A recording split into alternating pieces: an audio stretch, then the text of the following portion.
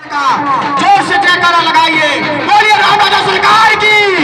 जय जय श्री राम जय जय श्री राम आज इस रामनवमी महोत्सव में मैं चार शब्द हमारे कुट्टू भैया को बोलने के लिए कहूँगा। आप सभी जोरदार तालियों से स्वागत करें हमारे कुट्टू भैया का। अकेले एक इस कुट्टू भैया ने पूरे हिंदुत्व को जगा दिया है। जोरदार तालियों से स्वागत करें कुट्टू भैया का।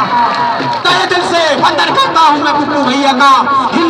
हिंदू चतुर्वेदी जिंदाबाद बोलो जय श्री राम जय श्री राम जय श्री राम सभी ग्रामवासियों, क्षेत्रवासियों का हार्दिक अभिनंदन, वंदन करता हूँ।